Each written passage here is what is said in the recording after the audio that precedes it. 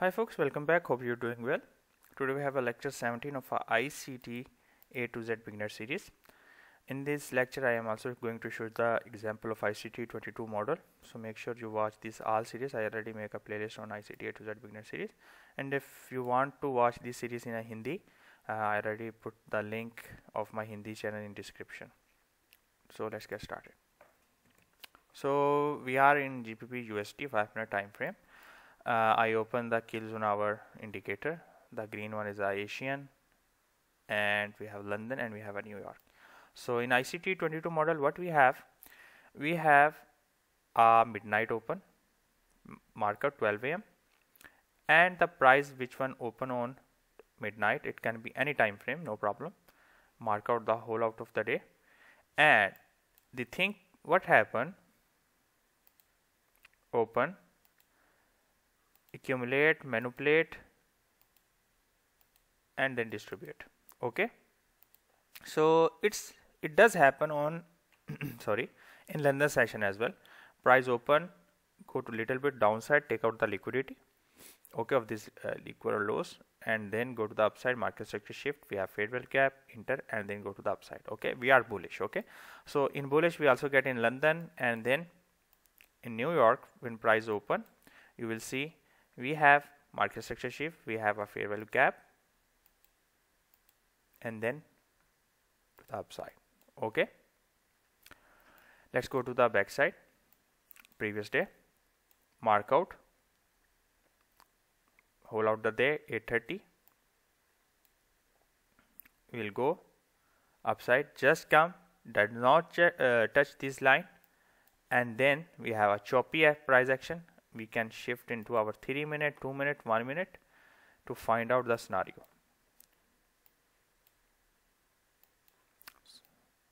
So you will see here we have this fair value gap. This one. And you if you go to 2 minute and 1 minute you also find that one. Here a swing structure like this market structure shift come back on this fair value gap in the zone hour you take entry okay? And then to the upside. We'll go to the forward.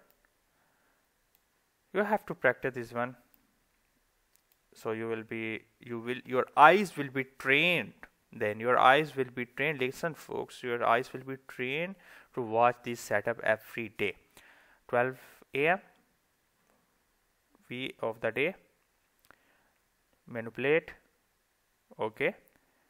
Market structure shift we have these fair value gaps touch and then go upside. Here we have we have fair value gap here. We have fair value gap here. Market upside. Okay. So all you have to do are practice. Okay. The more example come uh, I put here only I think 17 but I will try to add some more examples with more clarification and more justifications okay? On different markets and different okay two three textures I think you should take more.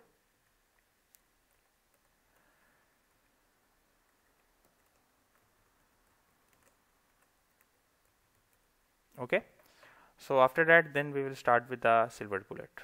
So make sure your homework is to go and practice every day. You have to watch uh, what happened where the price did not respect why it does not respect.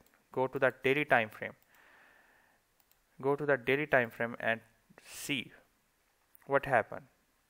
Open manipulate distribute. Open manipulate distribute. Open manipulate distribute. Okay this happen every day. Where is the liquidity? Where the most likely price to go?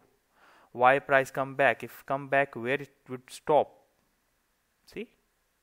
Yeah that's all you have to now if price take a after take out this liquidity okay if it's come back where it can be stopped? We have here. What we have here? A breaker block because it's take out the liquidity. We have a market structure shift. And if it come back we have this order block as well so if the price did not displace and come back then we will target the previous days lows. Okay? That's all. The more example will come and until next time be safe